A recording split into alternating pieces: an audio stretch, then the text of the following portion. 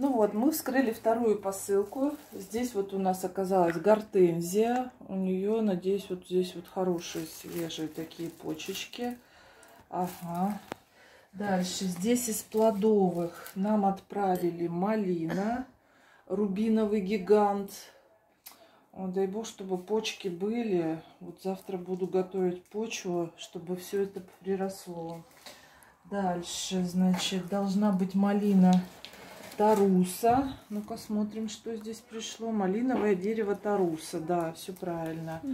Это прям, не знаю, почки надо, короче, все ее отливать, поддерживать. Так, что еще здесь? Подожди, зайчишка.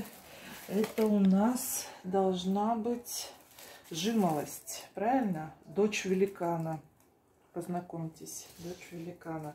Ну, уже хорошие веточки. Надеюсь, что дадут почечки. У нас уже, вот, кстати, почка есть. Это посмотрим, короче, какие все-таки по качеству.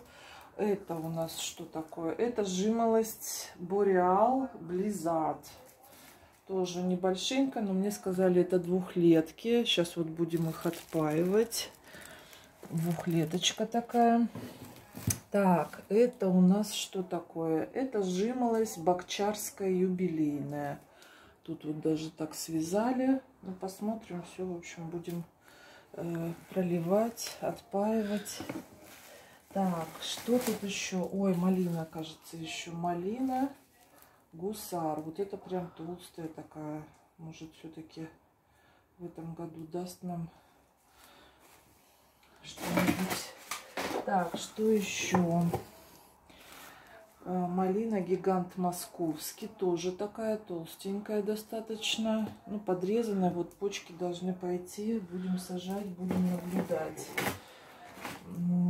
Это у нас а, малиновое дерево сказка. Не знаю, тонковатое, конечно. Но посмотрим, как.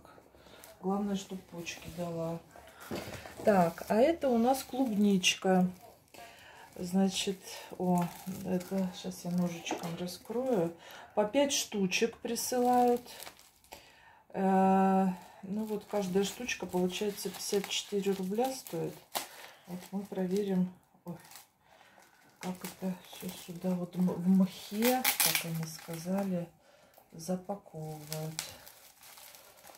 Танюш, давай-ка паузу.